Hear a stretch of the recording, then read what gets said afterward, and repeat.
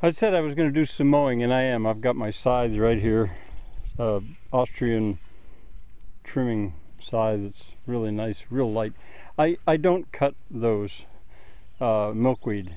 My wife Jane, especially, is very fond of monarch butterflies, um, and because of the connection, she, you know, I, I don't cut them. I don't know if I would.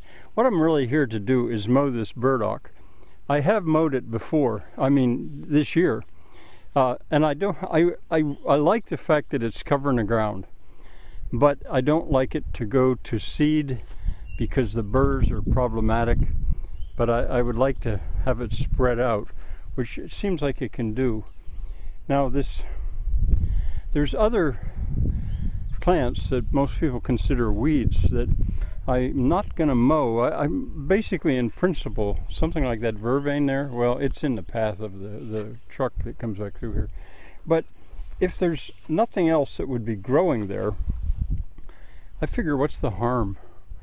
Uh, so I, I just tend to leave it alone, a lot of it.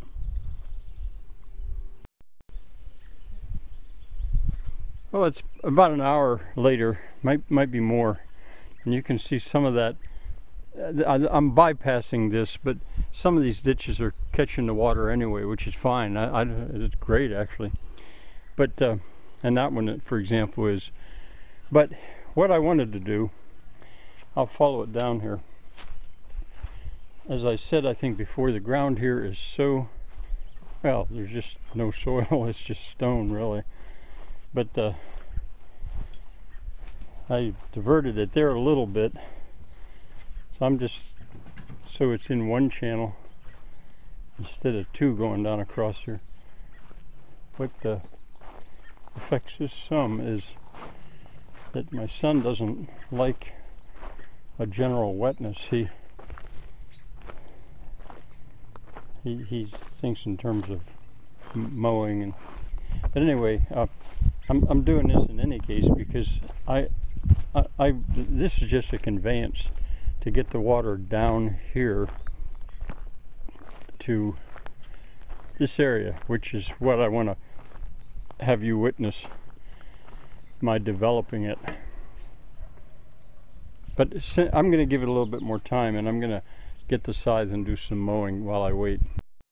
There's a thistle, a bull thistle. I'm not too friendly toward bull thistles. I usually mow them off. But you can see uh, where, as I mow this burdock, uh, it doesn't kill it. It becomes ground cover. Burdock is ground cover. And I know it has some uses that people can eat the root and stuff, which is fine. But the pigs don't control it by themselves. And this area right here, it's dominated it for a lot of years, and I, I want to have access to it. Now, a plant like that one up there, I think it's a Joe Pye weed. Uh, I'll, I'll probably just leave it there. Well, you know, what's the harm? Oh, and back there, I'll, I'll, film it when I walk back. Uh, here's some. I think this is gill over the ground, or gill over the rocks. I believe that's what that's called. And I don't remember last year where the pigs are. I don't remember that there was so much of it. It's never really a problem because it's low. One of the problems with vervain, I mean, I like it fine, but if it's not mowed at all, it leaves a stem through the winter. And, and that stem then, it, the, the scythe isn't going to cut through that very well.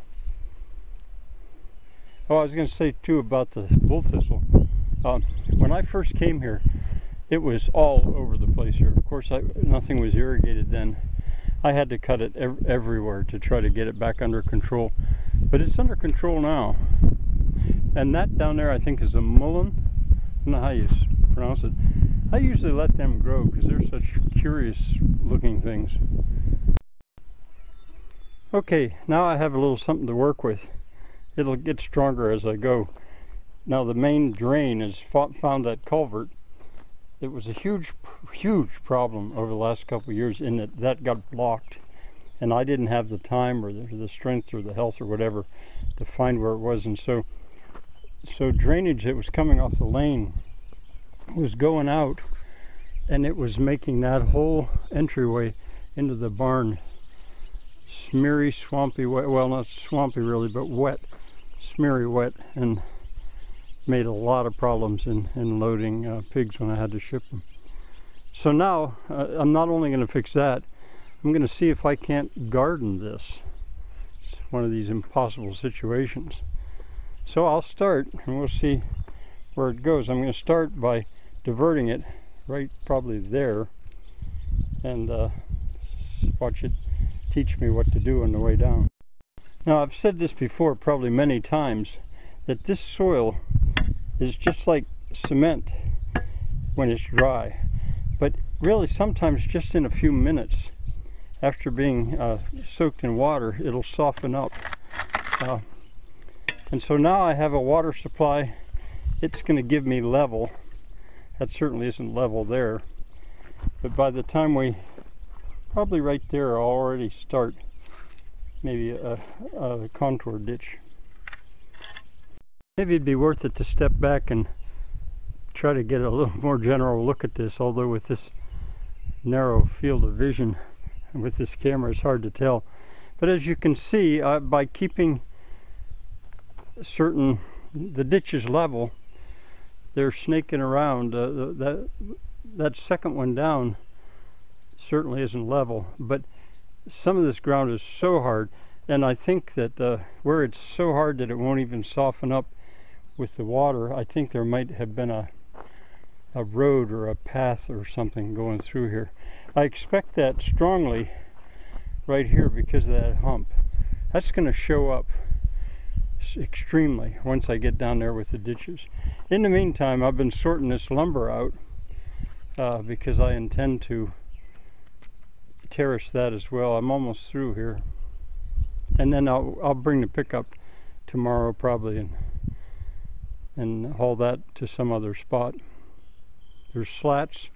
There's sort of like two, they're stringers is what they are. Uh, they're like one and a half by four some very very thin stuff that is dunnage uh, and the, uh, the groove in them is for the steel strap to go when they strap down a load